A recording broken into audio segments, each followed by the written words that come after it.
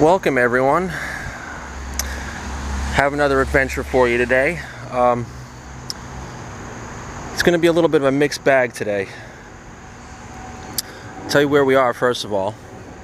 Um, we're in Coventry, Rhode Island, in the village of Anthony. Uh, and what I wanted to show you, I'm not going to be able to show you in very much detail that I wanted to. What I wanted to show you was this. Now I can still show you a little bit like this, but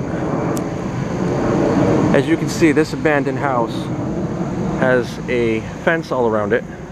And not only that, all the windows are boarded up. So I was hoping that, because when I used to drive by here years ago as a cab driver, um, it, there was no fence. I think it was still boarded up, but it was definitely abandoned. Uh, but I had been hoping that if once I got over here that maybe once I came around back there'd be an open door or window, but unfortunately they got it pretty much secure. Seems to be a lot of places have been cracking down on their abandoned buildings and houses. But it's still cool to see from the outside. Uh, I'm not sure the exact point this house was built in, but from the looks of it, I'd say it's got to be at least 100, if not 100, and as much as 150 years old. Uh,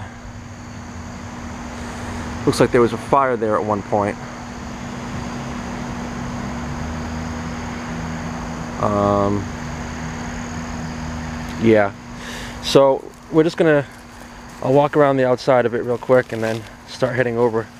There's a couple other areas I want to show you today. This thorn bush is grabbing onto my shirt. This is not cool. Hold on. Ow.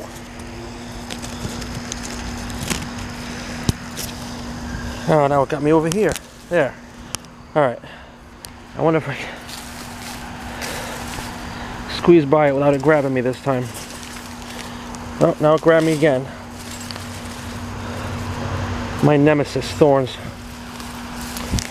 I want to show you something else. Check this hole out. Now when I came over here before I got on camera, I was walking to where I started filming and I didn't know this hole was here and my foot went right in it. Thankfully I didn't fall or hurt myself, but it's a pretty deep little hole there. Oh, what's this?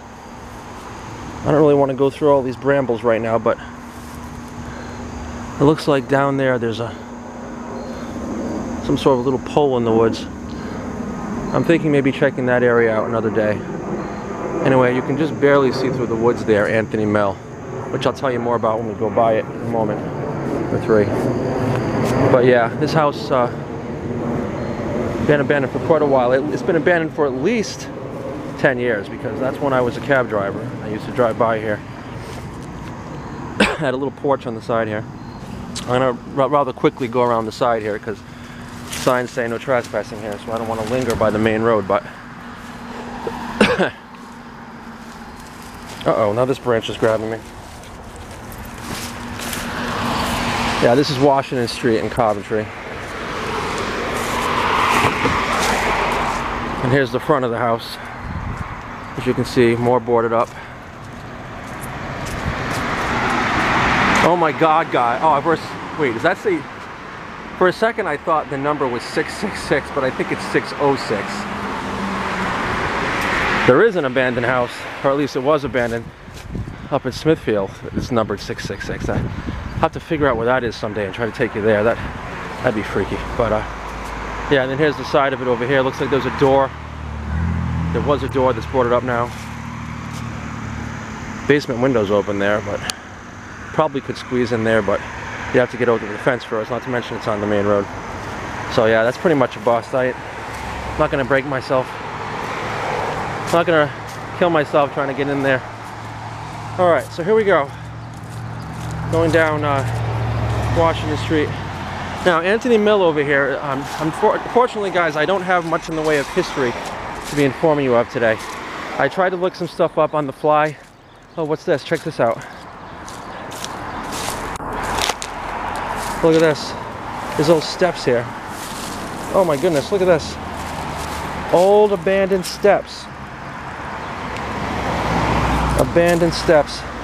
Goes down here. Check this out. I'm not sure if this is where, uh, years ago, like I said, when I used to drive by here, there was a really, really old looking abandoned, like crumbling down mill. And this may have been where it was, just judging by those steps and also by where I remember where it was. It's possible that they took it down.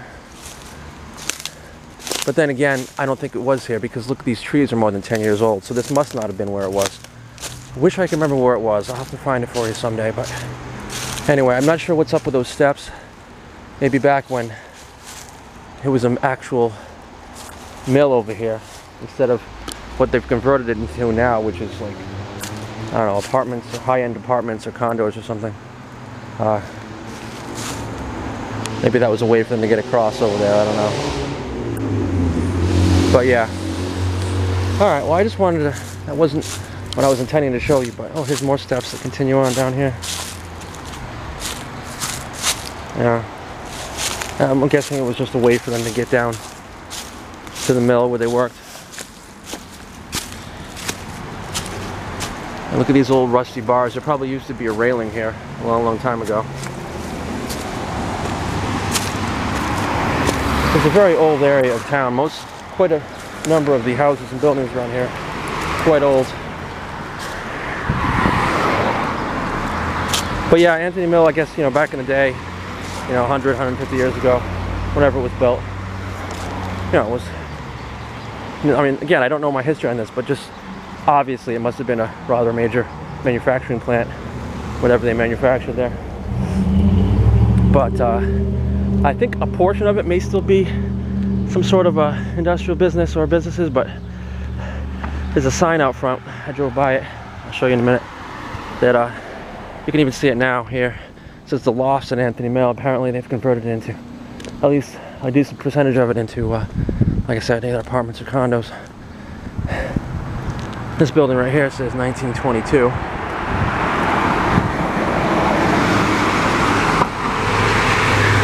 lot of the houses, even on the side streets, are old. You know, I think being on the river and being that there was, you know, the mill and whatnot, lots of people lived here because they worked at the mill and they needed to have a place to live. I've noticed that at least around here, the older population centers tend to be near water, whether it be the coast or, or uh, rivers, because that's where, you know, I guess I can cut through here. Most of the commerce was and industries were back then. Look at that giant smokestack. So as usual, I'm a little pressed here for time tonight. I only have about an hour before the sun sets. Let me see what time it is. Yeah, the sun's gonna set in exactly an hour. It's 5.12, it'll set at 6.12, so. But, uh, Coventry's funny. It stretches from West Warwick all the way to the uh, Connecticut border. And on its eastern end, it's quite built up. It's almost borderline urban, like in this area. And then it starts getting more suburban and more rural the further out west you go to the point where in the western half, it's just like mostly rural and woodsy.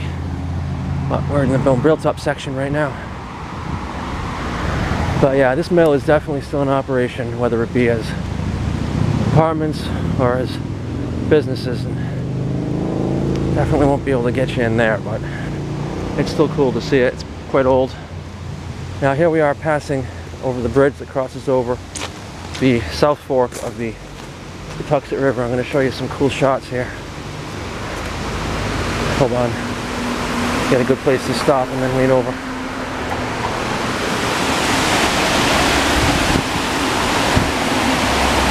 That's really pretty. Can you hear that?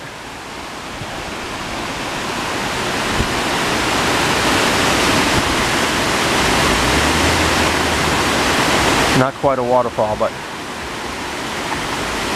mini little water pouring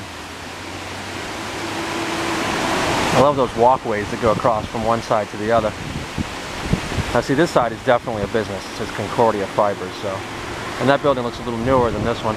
Look over on this side, you got a five, not one, well four, four stories on the main mill building. And then the tower over there has a fifth story. Observation deck, I guess, for the higher ups to observe the place. Okay, so now, in addition to the river, contributing to the fact that this was a population center back in the day. You also had a railroad line. Um, I'm not positive what the railroad line was called back in the day, but nowadays they call it the Washington Secondary Bike Path, I believe, or Bike Trail, something like that. Anyway, it's uh, as is the case with an awful lot of former rail lines, at least around here anyway. I'm not sure about the rest of the country. It's been converted into a bike path slash walking path, but used to be a rail line that went right along here. Uh, I don't know if you can see down there. I think that might have been a depot where they they waited for the train. And I think over here, I'm thinking this may have been an older, because that one looks newer. This may have been the original place where they waited on this deck for the train. Because look, they even left an old section of the track here, almost to show you the historical way it was laid out. I'm wondering, you know, if this was the deck where they waited, except if it was all the way over there, Except maybe this might have been a side thing for the train to park, a train, extra train car to park. It would make more sense actually since this deck is so close to what is the bike path. If this was the track right here, then again, that's not exactly that close, is it? Either. I don't know. Well, anyway, one side or the other, they definitely uh, probably waited on this to get on the train. That's my theory. Could be wrong, but I don't know what else that old wooden thing would be. Lots of people use this here and there I may be toning down the commentary to avoid embarrassment. But yeah.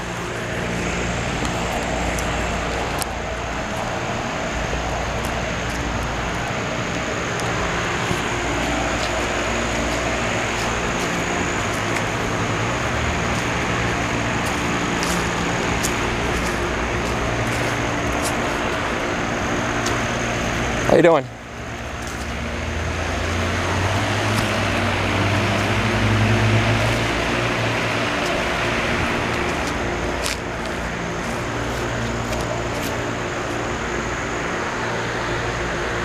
But no doubt this, this path approximately, if not exactly, matches up with the, where the track was. Alright guys, that about does it for this video. Um, I will uh, start a new one and tune in tomorrow. There's the link to subscribe. Thanks for watching. That rocked.